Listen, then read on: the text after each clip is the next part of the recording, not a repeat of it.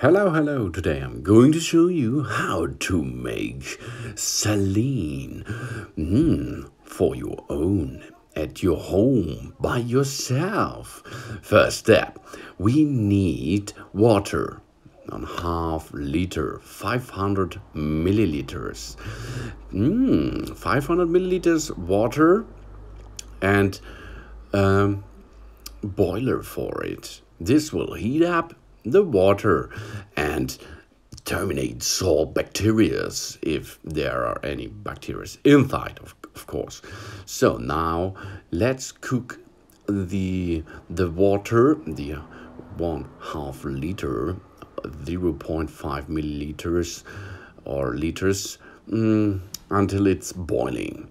And at the same time we are going to take the salt we only need a spoon for this because in uh, 500 milliliters that is enough to use one spoon of salt mm, for um, 0.9 percent of salt saline liquid.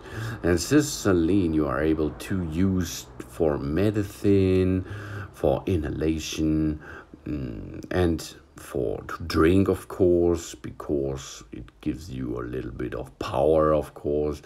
Saline is also known as saline solution. It is a mixture of sodium chloride in water and has a number of uses in medicine and here you are going to make it by yourself. Apply it to the affected area. It is used to clean wounds, help remove contact lenses, and help with dry eyes. That can you um, perform with this liquid after you are producing this too.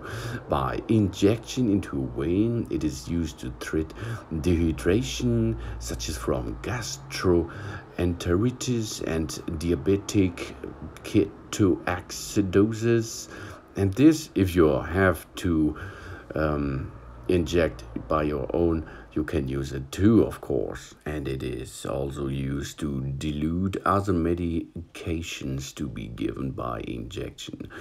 But we are going to use this for inhalation and for contact lenses.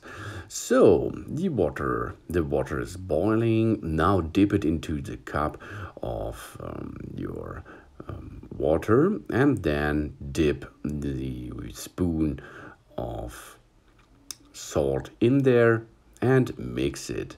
Now um, um, the saline liquid has to cool down a little bit and after this you're able to use it. Thanks for watching, please subscribe me and give me positive feedback and see you next time. Soon soon.